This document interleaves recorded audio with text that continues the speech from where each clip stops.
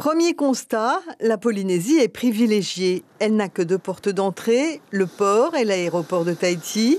Enfin, les mesures prises sont au nombre de six. Fiche sanitaire à remplir par le patient et à remettre à l'arrivée. Prolongation du dispositif de dépistage de la température. À l'arrivée, chaque passager se verra remettre une note informative sur les recommandations en cas de fièvre et autres symptômes.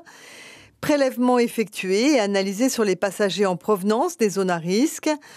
Le bureau de veille sanitaire de la santé publique sera édité chaque jour. Et enfin, une attestation médicale de moins de 5 jours sera exigée pour tous les voyageurs ayant séjourné dans l'un des 15 pays d'Asie touchés par le coronavirus.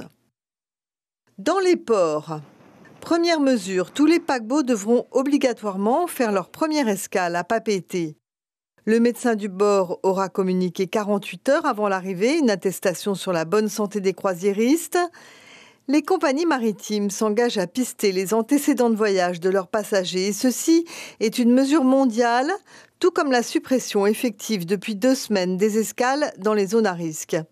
À titre individuel, les habitants de la Polynésie peuvent aussi appliquer des mesures simples toute épidémie, que ce soit la gastroentérite, la grippe, et bien évidemment le coronavirus est une forme de grippe, eh bien oui, se laver les mains régulièrement. Euh, alors est-ce qu'on va dire euh, éviter dans un pays comme le nôtre, éviter, euh, éviter de s'embrasser?